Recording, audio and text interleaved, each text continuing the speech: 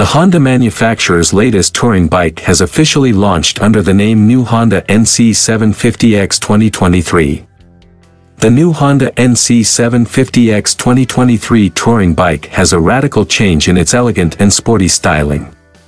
The new Honda NC750X is a more perfect refreshment that makes driving fun. More importantly, the new Honda NC750X bike features a new weight setting that is almost 6 kilograms lighter than the original. With this update, the bike also features upgrades from a new engine designed to meet emission standards.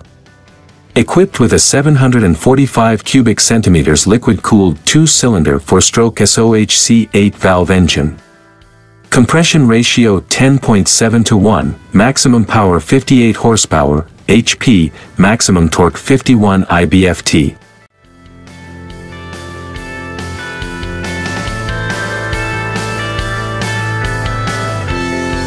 The bike features throttle-by-wire and, of course, adjustable Honda Selectable Torque Control, HSTC, technology.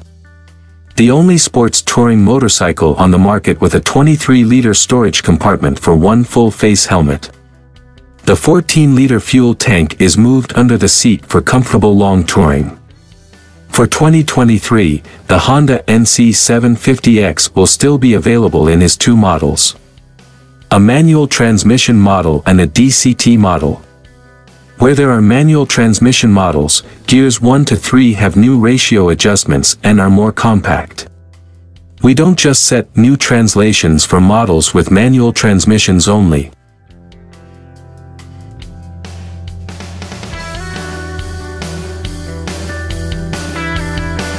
Both models feature new seat height adjustability for added comfort, reducing the seat height from the original 30mm to 772mm. In addition, three new body colors of red, silver, and white have been adopted. Unfortunately, this bike is sold in Thailand and only the DCT model has been officially released. This improves acceleration in the low to medium speed range.